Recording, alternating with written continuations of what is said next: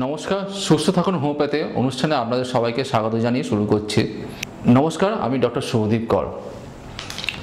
দেখুন, আমরা গত কয়েকদিন ধরে যেটা নিয়ে আলোচনা করেছি সেটা হচ্ছে ঘাড়ে ব্যথা এবং সার্ভাইকাস স্পন্ডলোসিস আজকে যে বিষয়টা নিয়ে আলোচনা করব, সেটা অনেকটা সার্ভাইকাস স্পন্ডলোসিস রিলেটেড সেটা হচ্ছে আমাদের কোমরে ব্যথা বা লাম্বার স্পন্ডলোসিস এই ধরনের সমস্যা নিয়ে আলোচনা করব। লাম্বা স্পন্ডলোসিস বলতে আমরা যেটা বুঝি, সেটা হচ্ছে আমাদের কোমরের যে স্পাইনগুলো থাকে, সেগুলো পরপর একটার পর একটা সাজানো থাকে। এবং এই স্পাইনগুলোর মাঝে থাকে একটা নরম কুশন বা প্যাডের মতো অংশ, যেটাকে ডিস্ক বলে থাকি আমরা। এই লাম্বা স্পন্ডলোসিসটা হচ্ছে অনেকটা আমাদের বয়সের সাথে সাথে চুল পাকার মতো। কীরকম? অনেকটা হয়তো বুঝতে পারলে না কথার মায়েটা। কথার মায়েটা হচ্ছে আমাদের যখন বয়স বাড়তে থাকে, তখন আমাদের চুল পাকতে থাকে, মুখের বয়সের ছাপ পড়তে থাকে, ঠিক একই রকম আমাদের স্পাইনগুলোর মধ্যে যে নরম যে প্যাডের মধ্যে যে অংশগুলো থাকে, সেটাও আস্তে আস্তে বুড়ো হতে বুড়ো হতে থাকে। মানে হচ্ছে, এই স্পাইনের যে প্যাডগুলো আছে প্যাডের মধ্যে কি থাকে? এটা জেলির মতো অংশ, এর মধ্যে কি থাকে? খাঁইটা থাকে প্রোটিন আর জলের মধ্যে একটা বার্নিং থাকে, তার ফলে খাঁইটা জেলি জেলির মতো অংশ থাকে। যত বয়স কম থাকে, আমাদের জলীয় ভাবটা অনেক বেশি থাকে এবং সলিড ভাবটা কম থাকে। এবং যত বয়স বাড়তে থাকে, বয়স বাড়ার সঙ্গে সঙ্গে একটা এজিং প্রসেস বয়স বাড়ার সঙ্গে সঙ্গে তার কিন্তু জলের ভাবটা কমতে থাকে এবং তার সলিড ভাবটা কিন্তু অনেকটা বেড়ে যেতে থাকে। এবং একটা সিম্পল এক্সাম্পল বাড়িতে আটা যখন মাখা হয় দেখবেন, আটা যখন লেচি করা হয় দেখবেন, লেচিটা যদি করা অবস্থায় যদি একদিন রেখে দেওয়া যায়, পরের দিন দেখবেন, সেই লেচিটার মধ্যে দেখবেন অনেক শক্ত হয়ে গেছে, ফাটল ফাটল হয়ে গেছে, ফাটা ধরে গেছে। সেটা যদি প্রেস করা হয়, দেখবেন কিছু জায়গাতে ফাটলের মধ্যে থেকে কি, ভিতর থেকে যে নরম অংশ যেটা আছে, সেটা দেখবেন বেরিয়ে চলে আসছে। ঠিক একই জিনিস আমাদের ঘাড়ের স্পাইনগুলো মাঝে যে নরম প্যাড যেটা থাকে, সেটার মধ্যে হতে থাকে। যত বয়স বাড়তে থাকে আমাদের কোমরের মধ্যে বা ঘাড়ের মধ্যে, স্পাইনের মধ্যে কোনো না কোনো ইঞ্জুরি হতেই থাকে। এবং ইঞ্জুরির ফলেই কিন্তু যেহেতু আমাদের বয়স বা সঙ্গে সঙ্গে জলীয় ভাবটা কমে গেছে এবং এটা অনেক সলিড হয়ে এসছে এবং যেহেতু বয়স বাড়ার সঙ্গে সঙ্গে কিন্তু আমাদের ইঞ্জুরির সংখ্যা অনেক বাড়তে থাকে এবং যে কোনো একটা ইঞ্জুরির জন্য কিন্তু এটা যদি কোনো কারণে যদি প্রেশার বেশি পড়ে যাচ্ছে স্পাইন দূরে দূরে স্পাইন যখন খুব কাছাকাছি চলে গেলো প্রেশারটা বেশি পড়ে গেলো, তার ফলে কি হচ্ছে? সেই ফাটলের মধ্যে দিয়ে কিন্তু যে মাঝখানে যে ডিস্কের মধ্যে যেটা জেলির মতো যে অংশ ছিল সেটা কিন্তু বেরিয়ে চলে আসছে। ফাটা মতো অংশ যেটা, ফাটা যে অংশ থাকছে সেখান থেকে বেরিয়ে চলে আসছে বা কিছু কিছু পুরো জেলিটাই বেরিয়ে চলে আসছে। এবং তার ফলে কি হচ্ছে? আমাদের স্পাইনগুলো পরপর সাজানো থাকে, তার স্পাইনগুলো ফাঁক কি দুটো করে আমাদের নার্ভ বেরিয়েছে, সেই নার্ভগুলো আমাদের ঘাড়, কোমর, পিঠ, পায়ের বিভিন্ন অংশে কিন্তু সাপ্লাই করছে। এবং যখনই এই ঘাড়ের বা কোমরের যে নার্ভগুলোর মধ্যে যখন এই ডিস্কগুলো যখন পোলাপস হয়ে যাচ্ছে, তখন সে কিন্তু নার্ভগুলো যে বেরোচ্ছে, রুটটা বেরোচ্ছে, তার মধ্যে গিয়ে কম্প্রেস করছে।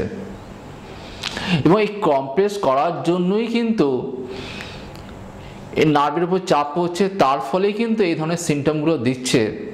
এবং যেগুলো আমি আলোচনা করব বা যে ব্যথাগুলো ব্যথার কথা বলব, সেগুলো আলোচনা করব, আপনি তখন বুঝতে পারবেন যে সিমটমের কথা বলছি। নার্ভগুলো যখন প্রেস করছে যখন, তখনই কিন্তু আমাদের নার্ভের উপর সিমটমগুলো দিচ্ছে মানে আমাদের কোমরে ব্যথা হচ্ছে এবং সেই ব্যথা পায়ের দিকে, নিচের দিকে নামছে, একটা অবশ ভাব থাকছে, একটা ঝিনঝিন ভাব থাকছে, মনে হচ্ছে একটা বিদ্যুৎ বেরিয়ে যাচ্ছে। এই ধরনের সিমটমগুলো আসছে নার্ভের কম্প্রেশনের জন্যই। অনেকে হয়তো আমাকে জিজ্ঞেস করবেন, ডাক্তারবাবু, আমাদের আপনি তো নার্ভের কম্প্রেসের কথা বলছেন এবং তার জন্য প্রেশার পড়ছে, ডিস্কটা বেরিয়ে গেল, তার জন্য সমস্যাটা হলো। কিন্তু আমাদের এক্সেল পেটের মধ্যে এত বোনসের মধ্যে এত চেঞ্জ আসে কেন? সবচেয়ে মজার বিষয় হচ্ছে যখন এই হার্নিয়েশন হচ্ছে বা ডিস্ক প্রলাপস হচ্ছে বা ক্যানালসিনোসিস হচ্ছে, এই যাই হোক, এবং যখন এই নার্ভের রুটগুলোর উপর যখন কম্প্রেস হচ্ছে যখন তখন এই নার্ভের শীতগুলো যখন ব্রেকডাউন হয়ে যাচ্ছে তার মধ্যে থেকে কিন্তু কিছু এনজাইম বেরোতে শুরু করছে। এবং কিছু কেমিক্যাল বেরোতে শুরু করছে, কিছু টক্সিক মেটেরিয়াল বেরোতে শুরু করছে। এবং সেটা এখনও বিজ্ঞান সায়েন্স খুঁজে বার করতে পারা যায়নি। কি অরিজিনালি কি বেরোচ্ছে নার্ভ শীতগুলো ড্যামেজ হয়ে যাওয়ার জন্য। এখনও বিজ্ঞান খুঁজে বার করতে পারেনি নার্ভ শীতগুলো ড্যামেজ হয়ে যাওয়ার জন্য অরিজিনাল কী টক্সিক মেটেরিয়ালস বেরোচ্ছে, সেটা খুঁজে বার করা যায় না এই টক্সিক মেটেরিয়ালগুলো কী হয়, ওরা নার্ভ এন্ডিংগুলো পাশ থেকে বেরিয়ে আশেপাশে যে জায়গা যেগুলো আছে সেখানে ছড়িয়ে যায়, সেখানে অ্যাবজর্ব হয়ে যায়। তা অ্যাবজর্ব কোথায় হয়? আমাদের হাড়গুলোর মধ্যে অ্যাবজর্ব হয় স্পাইনগুলোর মধ্যে অ্যাবজর্ব হয় বোনসগুলোর মধ্যে অ্যাবজর্ব হয় এবং কাটলেজের মধ্যে অ্যাবজর্ব হয় এবং তার ফলে দেখা যায় হাড়গুলো আস্তে আস্তে ক্ষয় হতে শুরু করছে। ক্ষয়তে শুরু করছে। তার ফলে দেখা যায়, এবং নতুন করে হাড়গুলো খাইটা খাই ক্ষয়ে যাচ্ছে, কোনো কোনো জায়গায় বেরিয়ে আসছে প্রোজেকশনের মতো হয়ে যাচ্ছে। শুধুমাত্র প্রোজেকশন হলেই দেখতে পেতেন যে শুধুমাত্র প্রোজেকশন হচ্ছে। কিন্তু অরিজিনালি দেখবেন, যখন এক্সেল প্লেট মিলিয়ে দেখা যায় সাবাগাস স্পন্ডলাইসিস বা লাম্বা স্পন্ডলাইসিসে যখন এক্সেল প্লেট দেখা যায়, তখন দেখা যায় দেখবেন স্পাইনগুলোর মধ্যে দেখবেন, ক্ষয় হয়ে গেছে বা ক্ষয়ে গেছে। এই টক্সিক মেটেরিয়ালসগুলো যেগুলো নার্ভ সিটগুলোর উপর ড্যামেজ করছে, এবং তার, সেখান থেকে বেরোচ্ছে, সেইগুলোই কিন্তু এই ডিজেনারেশন বা ক্ষয়কে ত্বরান্বিত করছে বা ক্ষয়কে আরও এগিয়ে দিচ্ছে। অতএব আমরা কিন্তু এই যে ডিজেনারেশন যেটা হচ্ছে, এটা কিন্তু একটা সিস্টেমিক ডিজেনারেশন এটা যখন একবার শুরু হচ্ছে, সেটা আমাদের শরীরে কিন্তু পরপর চলতে থাকছে। সেটাকে আমরা কিন্তু প্রিভেন্ট করতে পারছি না। মডার্ন সায়েন্স অনুযায়ী কিন্তু প্রিভেন্ট করা যায় না। কিন্তু আমাদের হোমিওপ্যাথি শাস্ত্র অনুযায়ী কিন্তু আজ থেকে আড়াইশো বছর আগে হ্যানিম্যান সাহেব বলেছিলেন, এই যে নার্ভের মধ্যে যে, হাড়ের মধ্যে যে ডিনারেশন হচ্ছে, এটাকেই আমরা ডিআডি ব্রিজ বলছি বা এটাকে লাম্বা স্পন্ডলাইসিস বলছি। এটাকেও কিন্তু আমরা কিন্তু মাইজমেটিক চিকিৎসা করে ধারাবাহিক হোমিওপ্যাথি ওষুধ দিয়ে কিন্তু এই ক্ষয়টাকে আটকাতে পারি। যারা দেখবেন ঘাড় কোমর ব্যথায় ভুগছেন যারা, তারা কমপ্লেন কী করেন? ডাক্তারবাবু, সকালবেলা ঘুম থেকে উঠলে কোমরটা স্টিফ হয়ে যাচ্ছে, প্রথম প্রথম কমপ্লেন করছে। এবং তারপরে বলছে ডাক্তারবাবু কোমর ব্যথাটা শুধু কোমরের সীমাবদ্ধ নেই, কোমর ব্যথাটা কিন্তু পায়ের দিকে, নিচের দিকে নামছে এবং হাঁটুর নিচে হাঁটুর পিছন দিক পর্যন্ত ব্যথা আসছে, থাই পর্যন্ত ব্যথা আসছে এবং আরও যখন স্টেজ এগোচ্ছে, তখন কিন্তু সেই ব্যথাটা কিন্তু পায়ের নিচের দিকে নামছে, হাঁটুর নিচে নামছে। নার্ভ স্মৃতির উপর যত কমপ্লেক্স পড়বে নার্ভের ব্যথাটা কিন্তু, পায়ের ব্যথাটা কিন্তু হাঁটুর নিচের দিকে নামবে এবং তবেই কিন্তু সে কিন্তু এগিয়ে যাবে। অতএব এখানে অনেক পেশেন্ট হয়তো আমাকে জিজ্ঞেস করতে পারেন বা অনেকে আমাকে জিজ্ঞেস করেন, ডাক্তারবাবু, বুঝব কী করে আমার হার্নিয়েশন হয়েছে ডিক্সে পোলাপস হয়েছে বা সিমটম থেকে বুঝব কী করে বা কোমর ব্যথাটা সাধারণ কোমর ব্যথা অধিকাংশ ক্ষেত্রে আমরা বলে থাকি কোমর ব্যথা দু ধরনের হয়ে গিয়ে থাকে, একটা হচ্ছে অ্যাকুট ওয়েস্ট পেন বা অ্যাকুট কোমর ব্যথা আর একটা হচ্ছে ক্রনিক কোমর ব্যথা বা একটা হচ্ছে সাব অ্যাকুট একটা হচ্ছে ক্রনিক আমরা অধিকাংশ বলে থাকি যেগুলো মাসকুলার প্যাজামের জন্য হয়ে গিয়ে থাকে বা মাসলসের স্টেন ধরে গিয়ে হয়ে গিয়ে থাকে, সেই কোমর ব্যথাগুলো অধিকাংশ ক্ষেত্রে এক থেকে দেড় মাসের মধ্যে সেই ব্যথাগুলো রিমিশন হয়ে যায়। আমরা কোমরে হয়তো কোনো কারণে এটা অটো ইঞ্জুরি হলো বা শর্টকা লেগে গেলো বা কোনো কিছু তুলতে গিয়ে লাগল। বা কোনো কোনো কোমরের মধ্যে আঘাত লাগল এবং বা কোনো সকালে উঠে দিলেন কোমরটা স্টিপ হয়ে গেছে, ব্যথা করছে। সেই ব্যথাটা যদি দেখা যায়, এক থেকে দেড় মাসের মধ্যে থেমেই যায়, তাহলে জানবেন এটা কোমরের মধ্যে লোকাল সীমাবদ্ধ আছে। এখানে নার্ভে কোনো শীতের উপর কমপ্লেক্স পড়েনি। যখনই দেখবেন এই কোমর ব্যথাটা কোমরের মধ্যে সীমাবদ্ধ থাকছে না যখন কোমর ব্যথাটা দেখবেন, হাঁটুর নিচে কোমর থেকে থায়ের পিছন দিকে আসছে এবং হাঁটুর নিচেও নেমে যাচ্ছে, তখন বুঝবেন অবভিয়াসলি কোনো নার্ভের শীতের মধ্যে কমপ্লেক্স পড়েছে। না হলে সে ব্যথা কখনো কোমর থেকে পায়ের দিকে, নিচের দিক পর্যন্ত নামতে পারে না। এবং আরেকটা জিনিস সবসময় লক্ষ্য রাখবেন কোমর ব্যথাটা কতদিন ধরে হচ্ছে? যদি কোমর ব্যথা যদি আপনার এক থেকে দেড় মাসের মধ্যে রেমিশন হয়ে যায়, তাহলে বুঝবেন কোমর ব্যথাটা লোকাল এবং সেটা ভয়ের কোনো ব্যাপার নেই। যখনই কোমর ব্যথা এক থেকে দেড় মাসে বেশি পারসিস্ট করে যাচ্ছে সেখানে কিন্তু বুঝতে হবে কিন্তু সেই কোমর ব্যথাটা কিন্তু আপনার আইদার কোনো ডিজাইশন হয়েছে বা কোনো হার্নিয়েশন হয়েছে ডিস্ক পোলাপস হয়েছে অথবা ক্যানাল স্টিনোসিস হয়েছে এই ধরনের সমস্যাগুলো হয়েছে বা যেটাকে আমরা এক কথায় লাম্বা স্পন্ডলাইসিস বলছি। অতএব আজকে যা লাম্বা স্পন্ডলাইসিসে ভুগছেন তাদের অধিকাংশ ক্ষেত্রেই তাদের মনে হতে পারে ডাক্তার আবার লাম্বা স্পন্ডলাইসিস বলছেন বা হানিয়াসন ডিস্ক বলছেন, এগুলো কী ব্যাপারটা একটু বুঝিয়ে বলবেন। তখন আজ দশ বছর আগে কিন্তু আমরা কোমর ব্যথা বললে লাম্বা স্পন্ডলাইসিস বললে আমাদের কাজ শেষ হয়ে যেত। কিন্তু আজকে গত দশ বছর এ কিন্তু আমাদের বিজ্ঞান কিন্তু অনেক এগিয়ে গেছে। আমাদের এমআরআই অনেক আমাদের হাতের কাছে আমাদের এসে গেছে। এবং যার ফলে কিন্তু আজকে আমরা দেখতে পাচ্ছি লাম্বা স্পন্ডলাইসিসের কারণটা কী? তিনটে কারণে যে লাম্বা স্পন্ডলাইসিস হচ্ছে। আয়দা ক্যানাল স্টিনোসিস হচ্ছে, অথবা হার্নিয়েশন হচ্ছে, অথবা ডিস্ক পোলাপস হচ্ছে। আমার এই পরবর্তী অনুষ্ঠানগুলোতে আমি তিনটে স্পেসিফিক্যালি আলোচনা করব কোনটাকে কি হচ্ছে। কিন্তু আজকে মূলত যে আলোচনা করার বিষয় সেটাকে আমরা সাধারণত গ্রস, লাম্বাস স্পন্ডাইটিস নিয়ে আলোচনা করছি বা কোমর ব্যথা নিয়ে আলোচনা করছি। অর্থাৎ কোমর ব্যথায় যারা ভুগছেন, তাদের ক্ষেত্রে কী হয়? তাদের ক্ষেত্রে দেখা যায়, অধিকাংশ ক্ষেত্রে দেখা যায় কোমর ব্যথাটা কোমরের মধ্যে হচ্ছে বা কারও কারও ক্ষেত্রে দেখা যাচ্ছে কোমর ব্যথাটা কোমর থেকে রেডিয়েট করছে, সরে যাচ্ছে। কীরকম সরতে পারে? কারও কোমর ব্যথাটা কোমর থেকে পেটের দিকে নামতে পারে। বা কোনো ব্যথাটা কারও দেখা যাচ্ছে মর্নিং স্টিফনেস আছে। আবার কারও ক্ষেত্রে দেখা যাচ্ছে মর্নিং স্টিফনেস নেই তার সারাদিনই অলমোস্ট ব্যথাটা আছে। এই কোমর ব্যথার ক্ষেত্রে কিন্তু অধিকাংশ ক্ষেত্রে আমরা যেটাকে বারণ করে থাকি সেটা হচ্ছে ফরওয়ার্ড বেন্ডিং করবেন না। ফরওয়ার্ড বেন্ডিং কোমর ব্যথার ক্ষেত্রে কিন্তু আমাদের অনেক বেশি কিন্তু ব্যথাটাকে অ্যাগ্রাভেট করে দিচ্ছে।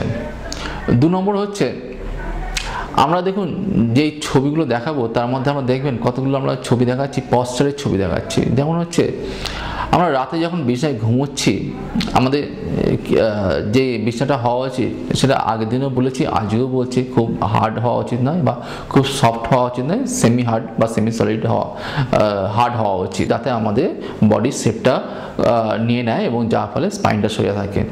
কোমর ব্যথার পেশেন্টদের ক্ষেত্রে যারা ঘুমোচ্ছেন, ঘুমানোর সময় কিন্তু আমরা একটা মাথার বালিশকে আমরা পায়ের নিচে দিয়ে শুতে বলি।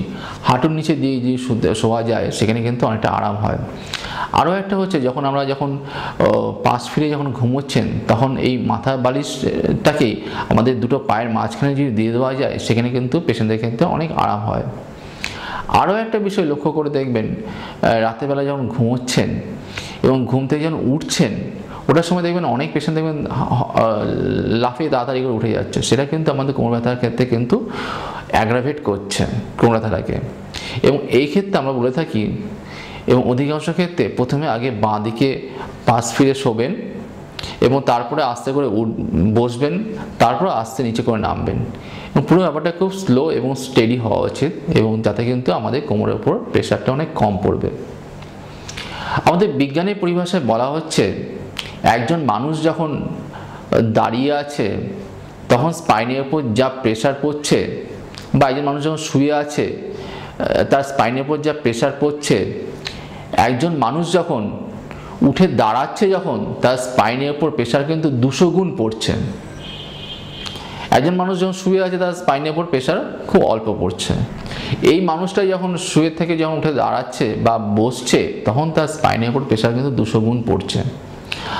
আবার বিজ্ঞানের ভাষায় পরিভাষা দেখা গেছে, এই পেশেন্টটি যখন আরাম কেদারায় বসে আছে মানে পিঠটা হেলিয়ে দিয়ে বসে আছে যখন, যে আরাম ইজি চেয়ার যেগুলো সেগুলোর মধ্যে বসে আছে, তখন দেখা যাচ্ছে স্পাইনের উপর প্রেশার প্রায় চারশো গুণ হয়ে যাচ্ছে। অর্থাৎ নর্মাল ক্ষেত্রে আমাদের প্রেশার যখন স্পাইনের উপর দাঁড়াচ্ছি তখন দুশো গুণ হয়ে যাচ্ছে। আবার যখন আমরা যখন আরাম কেদারায় বসছি, আরাম করে বসছি, তখন এটাই কিন্তু স্পাইনের উপর প্রেশার কিন্তু প্রায় চারশো গুণ হয়ে যাচ্ছে। অতএব এই আরামকে দ্বারা আরাম করে বসাটা কিন্তু আমাদের স্পাইনের জন্য কিন্তু খুব একটা কিন্তু স্বাস্থ্যকর নয় বা সুখকর নয়। সে কিন্তু আমাদের স্পাইনের মধ্যে স্ট্রেসটাকে বাড়িয়ে দিচ্ছে এবং ডিহাশনকে অনেক তাড়াতাড়ি ত্বরান্বিত করছে। অতএব যারা সার্ভাইকাল স্পন্ডাইসিসে ভুগছেন বা যারা ভুগছেন না, তাদের জন্য কিন্তু এই কথাগুলো সবসময় কিন্তু মনে রাখা উচিত। আমরা যখন চেয়ারে বসছি, আমাদের স্পাইনটা যেন সোজা থাকে। আইদার আপনি কম্পিউটারে কাজ করছেন বা আপনি ডেস্কে কাজ করছেন, আপনি যে ধরনের কাজ করুন, আপনি যখন বসবেন, আপনার চেয়ারের সঙ্গে যেন আপনার পিঠের স্পাইনটা যেন সবসময় সোজা থাকে। এবং আমাদের যে চেয়ারটায় বসছি, সেই চেয়ারের সঙ্গে আমাদের স্পাইন আর আমাদের হাঁটু যেন অ্যাটলিস্ট সমান্তরাল হয় নাইনটি ডিগ্রি অ্যাঙ্গেলে থাকে। এবং অনেক ক্ষেত্রে দেখবেন আমরা বসছি, যে নিচু চেয়ারে বসছি, সেখানে দেখা যাচ্ছে আমাদের হাঁটুগুলো উপর দিকে উঠে যাচ্ছে। বা আমরা ড্রাইভিং করছি যখন, তখন দেখা যাচ্ছে আমাদের হাঁটুগুলো উপরের দিকে উঠে যাচ্ছে। এবং এটা কখনোই কিন্তু আমাদের স্পন্ডলাসিস বা কোমর ব্যথার ক্ষেত্রে কিন্তু সুখকর নয়। সেখানে কিন্তু অ্যাটলিস্ট বডি স্পাইনটা সোজা থাকবে এবং হাঁটুটা কিন্তু তার প্যালালি থাকবে। তবেই কিন্তু সেরকম চেয়ারে যদি বসতে পারেন তবে কিন্তু কমফোর্টেবল পাবেন এবং তবেই কিন্তু আমরা আরামটা পাবেন। অতএব যারা কোমর ব্যথাতে ভুগছেন, তারা রেগুলারলি আমাদের এই অনুষ্ঠানটা দেখতে থাকুন। কারণ এর পরবর্তী অনুষ্ঠানগুলোতে আমরা আরও কিছু ব্যায়াম এবং আরও কিছু ডিটেলসে আলোচনা করব, যেটা আপনাদের পক্ষে বুঝতে অনেক সুবিধা হবে। আর আজকে যেটা মূলত আমি বোঝানোর চেষ্টা করলাম কোমর ব্যথাটা কেন হচ্ছে এবং কোমর ব্যথাটা কী কী সিমটম হচ্ছে এবং কীভাবে কিছু কিছু জিনিস বোঝানোর চেষ্টা করলাম, যেমন কীভাবে শোয়া উচিত এবং কীভাবে বালিশটাকে পায়ের নিচে দেওয়া উচিত। এবং কীভাবে আমরা বসবো বা কীভাবে আমরা কাজ করার সময় আমরা ডেস্কে বসবো সেগুলো বোঝানোর চেষ্টা করলাম। দেখুন, আজকে আমাদের সময় একদম নেই। আজকে আমাকে বিদায় দিন এবং ফিরে আসছি আগামীকাল ঠিক সকাল সাড়ে আটটায়। নমস্কার। Doctor Subhadip Kar Kar homeo pharmacy one ninety seven by one Ramakrishna Sarani, Behala, Kolkata sixty, Behala tram depot থেকে তার ফ্যাক্টরির দিকে। Telephone number nine eight three one two seven five zero five nine এবং two four zero four nine four three eight